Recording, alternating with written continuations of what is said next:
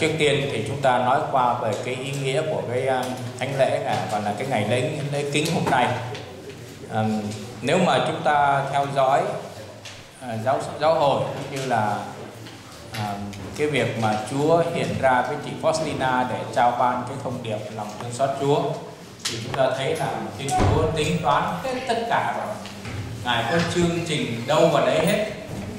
Cho nên à, đối với Chúa thì không có gì khó với Chúa, không có gì khó, bởi vì những chuyện đấy Chúa làm dễ dàng. Cái khó nhất của Thiên Chúa, đó là cứu độ con người. Đấy là cái khó nhất cũng như là đó là một cái công việc lớn nhất của Thiên Chúa. Nếu chúng ta nói là khó, có nghĩa là này này Chúa ban cho loài người chúng ta có tự do cho nên cứu loài người thì Chúa muốn lắm, cứu hết tất cả mọi người. Nhưng mà nếu người nào đó mà không muốn Chúa cứu thì Chúa cũng chịu thôi.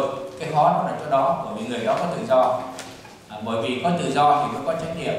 Cho nên con vật nó không có trách nhiệm gì cả bởi Chúa không ban nó tự do nó sống theo bản năng.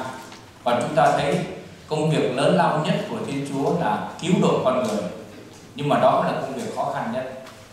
À, bởi vì Thiên Chúa ban tự do cho người ta nếu mà người, người ta không có muốn say yes với Chúa thì Chúa cũng đã chịu. Đó là cái cái khó của Chúa là đấy thế thì à, nói qua về cái lòng thương xót lễ lòng thương xót của Chúa thì à, chúng ta biết rằng là chị Faustina là chị mà được Chúa hiện ra để mà trao ban cái thông điệp lòng thương xót và chị Chúa muốn chị rao truyền cái lòng thương xót đó cho thế giới biết. Thế thì đã nói đến cái tầm vóc thế giới thì Chúa phải làm cái việc gì cũng phải có thế giới thì mới mới mới có thể người ta biết tất cả được. Thế thì Chúa muốn chị là khi mà đầu tiên chị à, Chúa hiện ra với chị thì Chúa nói là hãy vẽ cái hình ảnh của cha như thế này. Tức là có từ trái tim của Chúa có hai luồng ánh sáng trắng và đỏ. Trắng nghĩa là gì mà đỏ là gì? Các chị biết hết là gì không? Trắng là tượng trưng cho máu. À cho trắng là tượng trưng cho nước. Còn đỏ là tượng trưng cho máu. Nước có nghĩa là tẩy sạch, rửa sạch tội lỗi chúng ta. Máu có nghĩa là ban sự sống cho linh hồn chúng ta. Giống như máu cho thân xác con người sự sống. Khi mà con người mất một số lượng máu nào đó thì chết. Bởi vì máu là yếu tố quan trọng để nuôi sống con người. Thế thì Chúa muốn cái cái lòng thương xót này là thiết lập một thánh lễ. Thế thì Chúa lại phải tìm cách để đưa một con người từ trong giáo hội Ba Lan lên để làm giáo hoàng. Nếu chúng ta suy nghĩ, chúng ta thấy Chúa đường lối của Chúa tính toán hết từng đi chứ là không chạy cái đâu cả thì cái con người giáo hoàng đó là Đức Thánh Cha Gioan Phaolô để gì ngài qua đã là giáo hoàng ở các tập pháp quốc tế. Mọi người, mọi dân đều biết hết, đúng không? Thế thì, Chúa muốn thiết lập cái lòng tương thương xót này thành một cái lễ là Chúa nhật thứ hai sau phục sinh như chúng ta mừng ngày hôm nay này. Thì Chúa đã cho vị giáo hoàng này xuất thân từ Ba Lan và chắc chắn vị giáo hoàng này phải biết chị Thánh Faustina và ngài cũng biết rằng là chị Faustina đã vâng lời của Chúa để mà muốn có một thiết lập một cái lễ để cho cả giáo hội kính nhớ, đó là lễ Chúa tình thương. Thế thì, vào ngày 30 tháng à, 4 năm 2000 thì sau khi đã tìm hiểu, cũng như là dò hỏi các ý kiến, nói chung là ngài cũng không phải quyết định một mình ngài cầu nguyện để lãnh ý Chúa rồi dò hỏi các ý kiến của những người uh, liên hệ. Thì ngài đã thiết lập cái lễ này là ngày 30 tháng 4 năm 2000 là lễ kính Chúa tình thương đầu tiên. Và đúng như lời Chúa nói là Chúa nhật thứ hai sau phục sinh à, Chúa nhật kế liền cho đó là lễ kính Chúa tình thương. Thì chỉ có ngài là giáo hoàng ngài mới có quyền để mà ra một cái lễ cho toàn thể giáo hội tuân theo. Giáo mục không có quyền các giáo mục địa phương không có quyền. Thế cho nên chúng ta thấy chính vì ngài là người ba lan. Ngài dĩ nhiên là cái dòng máu ba lan hướng về ba lan. Cái điều này cũng gì xấu cả. Thì nó dễ hơn là một vị giáo hoàng người đức hay là một người ý hay là một người nước nào khác. À, hay là một vị giáo hoàng mexico bây giờ là từ nước á khẳng định. Đó. cho nên chúa đã tìm cách để mà thiết lập cái lễ này thì chúa có cách của chúa. Vậy thì khi mà làm cái lễ này vào ngày 30 tháng 4 năm 2000 thì đồng thời vị giáo hoàng này cũng phong thánh cho chị Faustina là vị thánh luôn. Ý hay như vậy. À, chúng ta thấy chị mất thì à, mới có 33 tuổi. Thì nếu mà khoảng thời gian đó là cũng mấy chục năm sau chị mới được phong thánh chứ không có dễ dàng gì. Nhưng mà rồi kế tiếp sau đó 5 năm sau thì ngài cũng chết. Đức giáo hoàng toàn Phaolô đệ nhị cũng chết.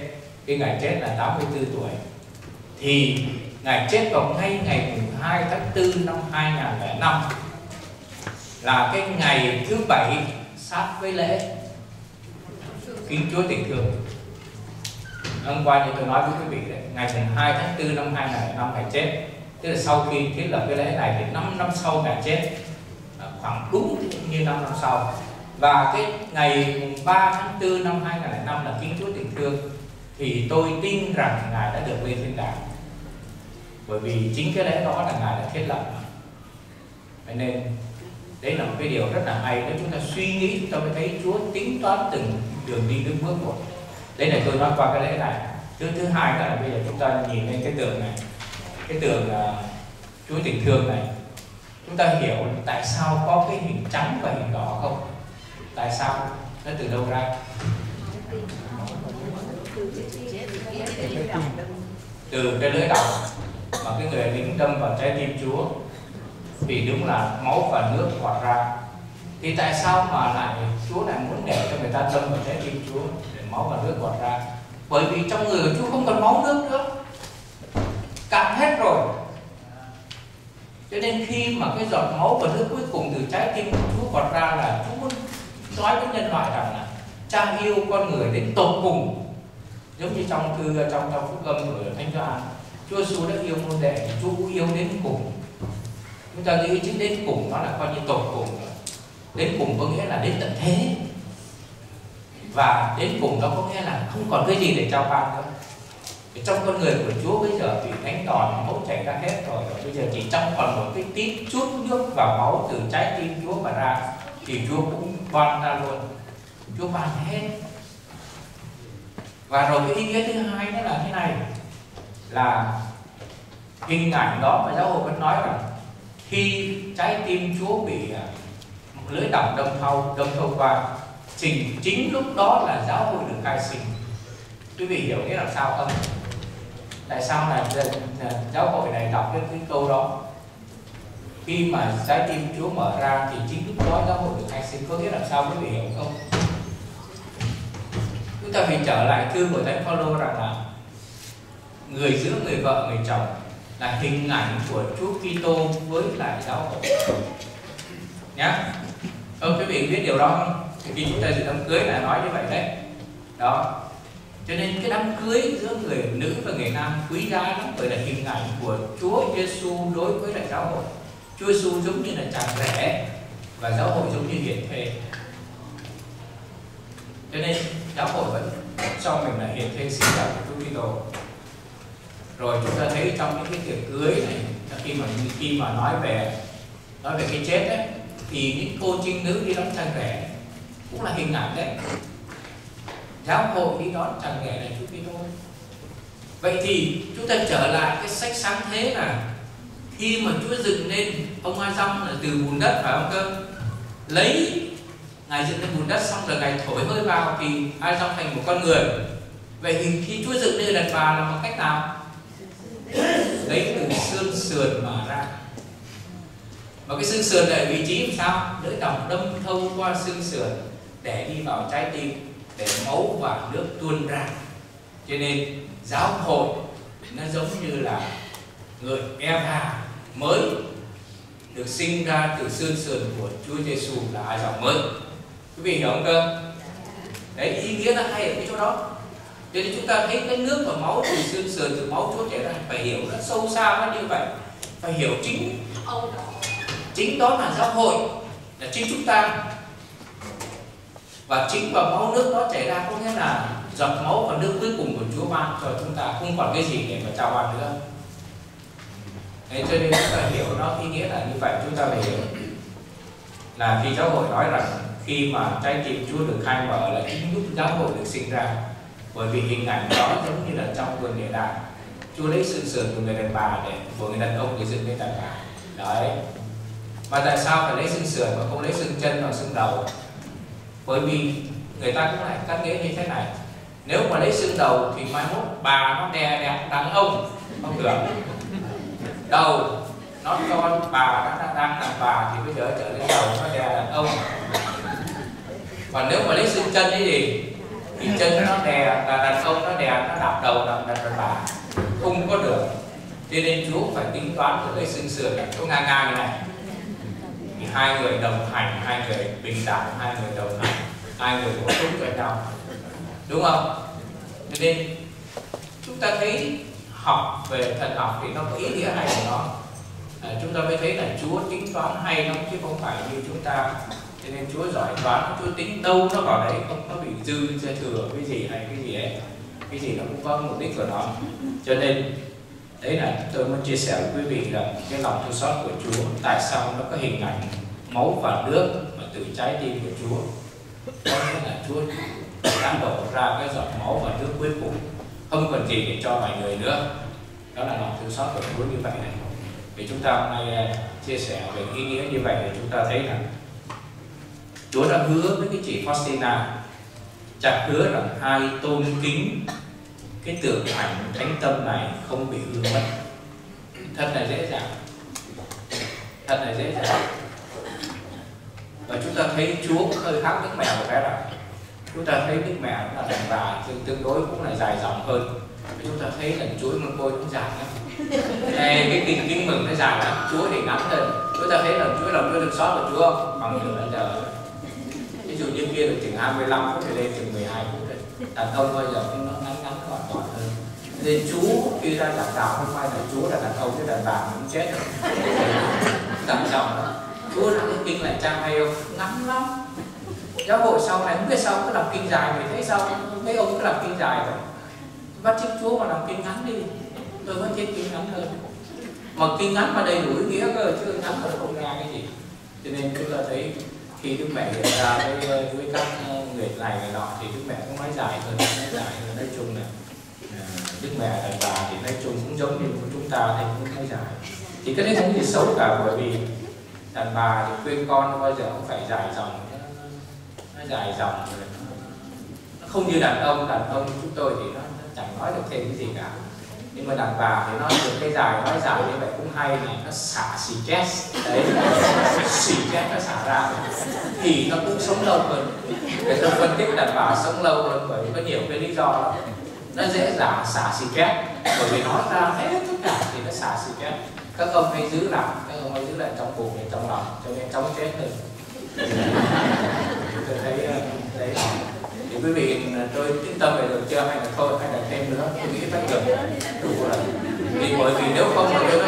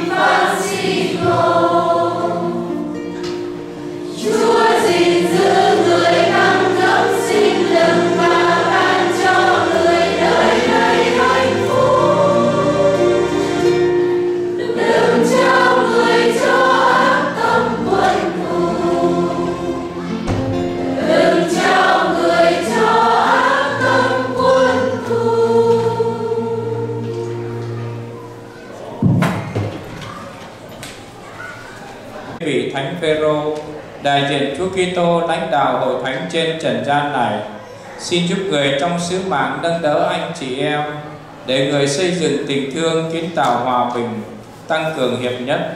Nhờ đó người sẽ tìm được nơi Chúa sự thật và sự sống muôn đời. Chúng con cầu xin nhờ Đức Kitô Chúa chúng con.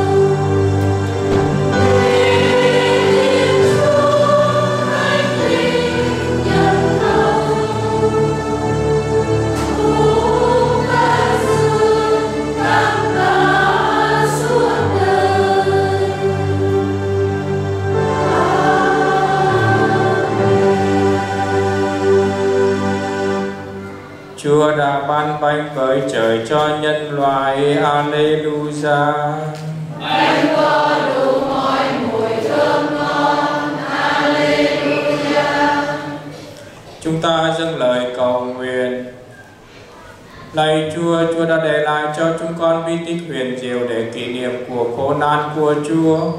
Chúng con nài xin Chúa cho chúng con được sùng kinh mầu nhiệm mình máu thanh Chúa, để chúng con luôn luôn được hưởng nhờ hiệu quả của ơn cứu chuộc.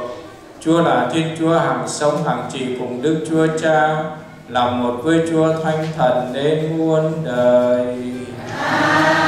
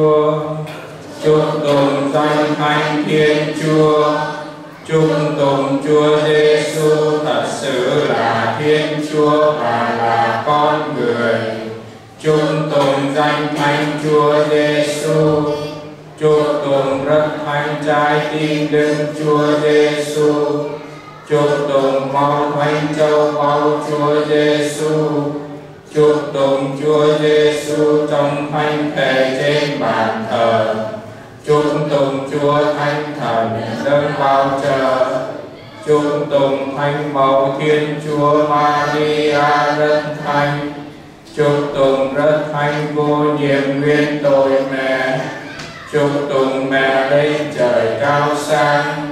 Chúc tùng danh mẹ Maria, đồng trinh và hiền mẫu. Chúc tùng thánh du xe, ban thánh sạch đức Maria. Chúc tùng thiên chúa nơi các thiên thần và các thánh. Amen.